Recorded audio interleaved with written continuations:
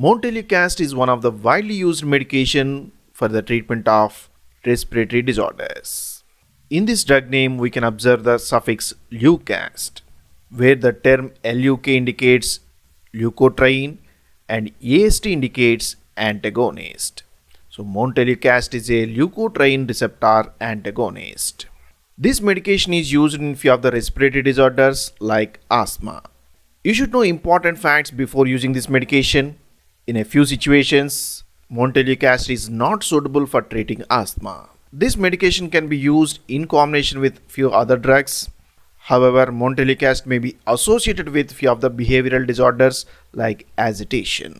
So in this video, we will discuss all such important facts about montelukast.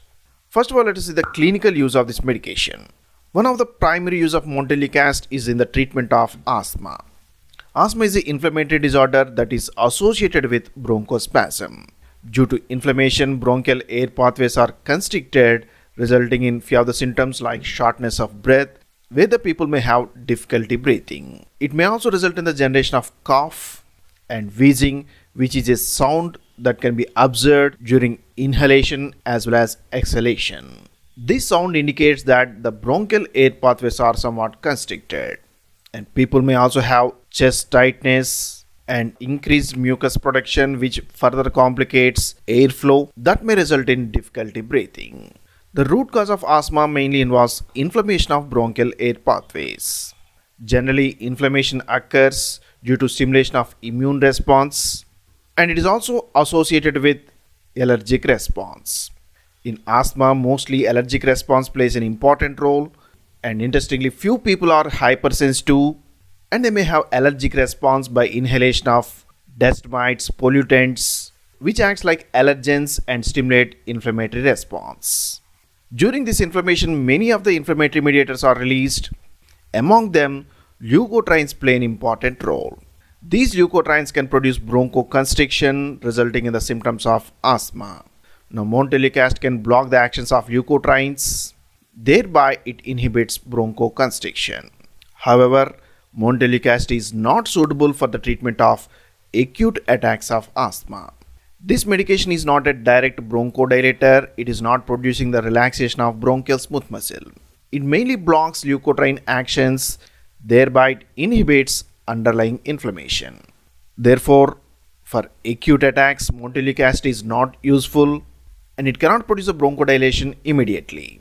So if you have any attack of asthma and bronchoconstriction, Montelukast cannot relieve your symptoms. For such purpose, beta-2 agonists like salbutamol or salmeterol can be given.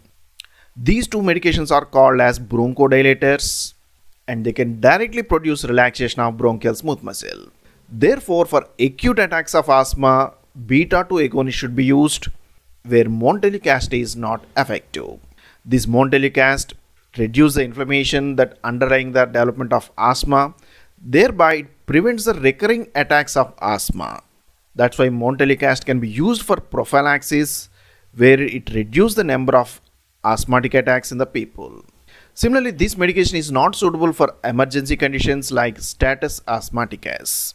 This is a condition of excessive bronchospasm in the people where again montelukast is ineffective because it is not a direct bronchodilator.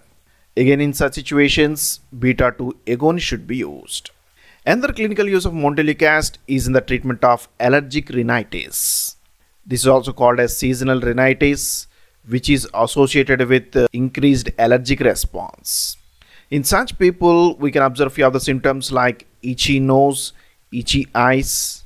They may also have sneezing, runny nose, sore throat and nasal congestion. To control these symptoms again montelukast can be given. However, it should not be used at first line for treating allergic rhinitis. Normally, these cold-like symptoms can be treated by few of the antihistamines. Whenever these antihistamines are unable to control the symptoms and the recurring attacks of allergic rhinitis are observed, then montelukast can be given to control these symptoms. Now let us see how to take this medication. Montelukast is available as normal tablets as well as chewable tablets. These chewable tablets are intended for use in the children. Montelukast is also available as granules. Again, they are useful in the children with age less than 6 years. As a normal tablets, it is available at a single strength of 10 mg. Chewable tablets are available at two strengths such as 4 mg and 5 mg. Here we can clearly observe that these tablets are available at two strengths 4 mg and 5 mg with a little difference in their strengths. That means the dosing of Montelukast acid is highly specific in the children and a little difference of 1 mg is sufficient to produce a significant clinical effects in the children. Therefore, these two strengths should not be confused and they should be properly used in the children. In the form of granules, Montelukast is available at a strength of 4 mg for each packet. The dose of Montelukast depends on the age of the patient. For the treatment of chronic asthma, Montelukast is used as prophylactic to prevent recurring attacks of asthma. For the treatment of chronic asthma, Montelukast is given at a dose of 10 mg given at the evening. However, remember that this medication should be given only once daily. Taking two tablets per day is not at all recommended due to toxic effects of this medication. Montelukast is also available in combination with other medications. Therefore, never combine two medications which contain Montelukast. This medication can be given to the children with age above 1 year. However, the dose is somewhat different. In the children with age up to 6 years, Montelukast can be given at a dose of 4 mg whereas in the children with age 6 to 15 years it is given at a dose of 5 mg. Here we can clearly observe a small difference between the doses based on the age of the children. Below 6 years 4 mg and above 6 years it is given at a dose of 5 mg. Therefore never take at the higher doses particularly in the children as it is not safe at overdose. Montelukast can be taken either with food or without food but it is always better to be taken at the evening for better clinical response. However, in a few other situations, Montelukast can be given at any time of the day. For the treatment of exercise-induced bronchospasm, Montelukast should be given at least two hours before the exercise. For the treatment of allergic rhinitis, Montelukast can be given at similar doses as it is used for the treatment of asthma. Therefore, for adults, it can be given at a dose of 10 mg, and for children, it can be given at a dose of 4 to 5 mg based on their age. For this purpose, Montelukast can be given at any time of the day to control the symptoms of allergic rhinitis. However, when it is combined with antihistamines, it is always preferred to be taken at the evening. Combinations of this medication. Montelukast can be given either alone or in combination with other medications. Sometimes the combinations are more effective than the monotherapy. Particularly Montelukast can be combined with uh, one group of medications called antihistamines. One of the most widely used combination of Montelukast is with the levocetirizine. Levocetirizine is an antihistamine which can reduce allergic response by blocking the actions of histamine. Montelukast blocks the actions of leukotriene so this combination can act by dual mechanism to reduce allergic response. Montelukast and levocetirizine combinations is available as tablets as well as syrup for ease of administration. Few other antihistamines like uh, desloratadine, fexofenadine can also be combined with Montelukast. Another combination of three drugs is also available. Montelukast can be combined with levocetirizine along with acebrophylline. This acebrophylline is a mucolytic which cuts the mucus. This improves the clearance of mucus that results in the improvement of airflow in the bronchial air pathways. Next, let us see where this medication is not useful. Aspirin is one of the widely used medication which is used as analgesic, antipyretic and anti-inflammatory agent. This medication can be used to reduce the pain, fever as well as to prevent platelet aggregation. Aspirin works by reducing the synthesis of prostaglandins. Prostaglandins play an important role in induction of pain and fever. They also respond for platelet aggregation that results in the increased risk of clotting. One of the target for aspirin is the COX enzyme, cyclooxygenase enzyme. Aspirin produces irreversible inhibition of this COX enzyme which results in the decreased prostaglandin synthesis. Normally these prostaglandins are synthesized from arachidonic acid through this COX enzyme. When this enzyme is blocked, another pathway may be stimulated resulting in the increased production of leukotrienes. This may result in bronchospasm. However, this bronchospasm is not observed in all people. In a few people who are sensitive to aspirin, this bronchospasm can be observed. Not only aspirin, few of the painkillers can also produce bronchospasm due to inhibition of COX pathway. However, montelukast cannot completely relieve the bronchospasm produced by aspirin.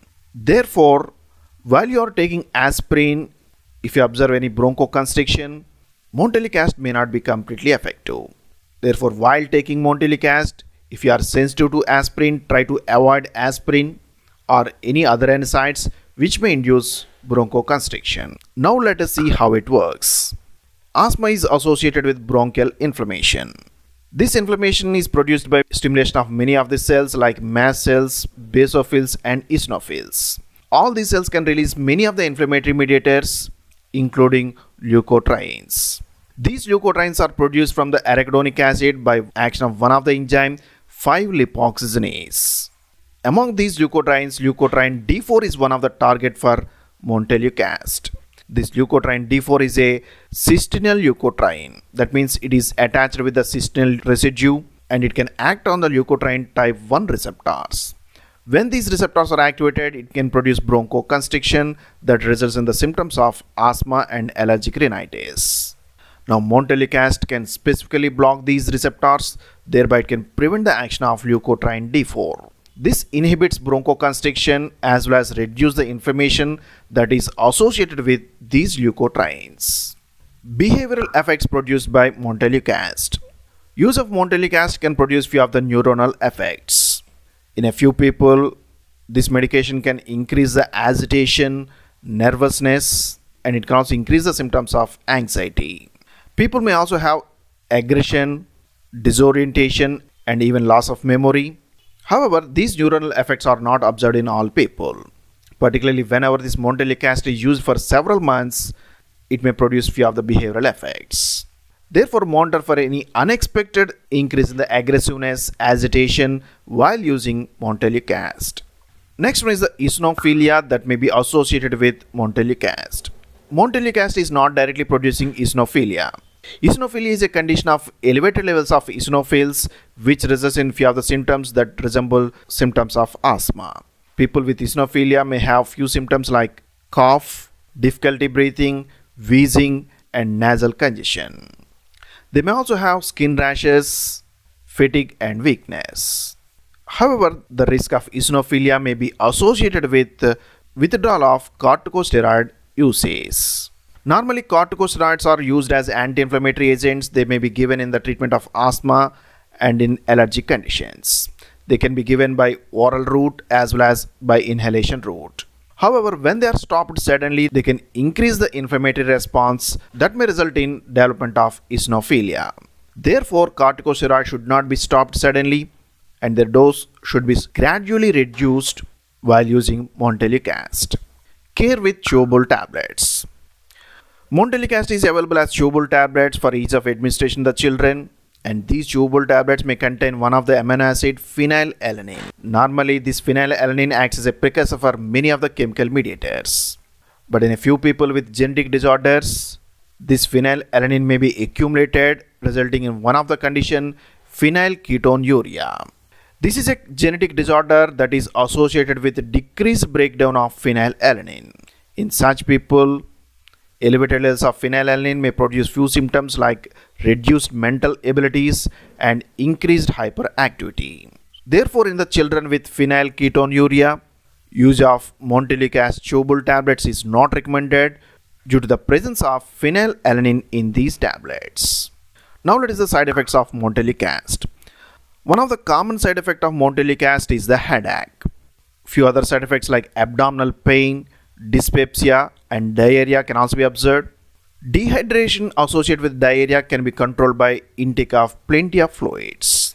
In a few people, montelukast can also produce fever. For treating this fever, never take aspirin because aspirin may increase the bronchospasm. You can take antipyretics like uh, paracetamol to control the fever. Other side effects like itching and skin rashes can also be observed with use of montelukast. Few people may experience nasal bleeding, particularly on repeated usage of Montelukast. This medication can also be associated with few of the upper respiratory tract infections like pharyngitis.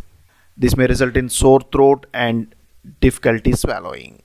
Montelukast can also produce ear pain and dizziness in a few people. However, many of these side effects are mild and well tolerated. So these are the important facts about this Montelukast which is a leukotriene receptor antagonist that can be used as a prophylactic in the treatment of asthma and it can also be used for exercise induced bronchospasm. Another important use of Montelukast is in the treatment of allergic rhinitis. However, it should not be used as a first line agent whenever other medications like antihistamines are ineffective and recurring attacks of rhinitis is observed then Montelukast can be given. This Montelukast is available as tablets at a single strength of 10 mg and they should be taken only once daily, specifically at the evening. It is also available as a chewable tablet at different strengths such as 4 mg and 5 mg. Care should be taken while using the proper dose. For children less than 6 years, it can be given at a dose of 4 mg. For the children above 6 years, it can be given at a dose of 5 mg. For the treatment of exercise-induced bronchospasm, it should be given at least two hours before the exercise to prevent bronchoconstriction. However, Montelukast is not a direct bronchodilator, so it is ineffective in the acute attacks of asthma as well as in the status asthmaticus. It mainly reduces the inflammation that is associated with bronchial asthma by blocking the actions of leukotrienes and even it is not substitute for corticosteroids so while withdrawing corticosteroids their dose should be gradually reduced in order to prevent any withdrawal effects so that's all about important facts of Montelukast. I hope this video is useful to you. If you really like this video, please subscribe to our channel and share this video with your friends and hit the like button to support our work. Thanks for watching. See you in the next video.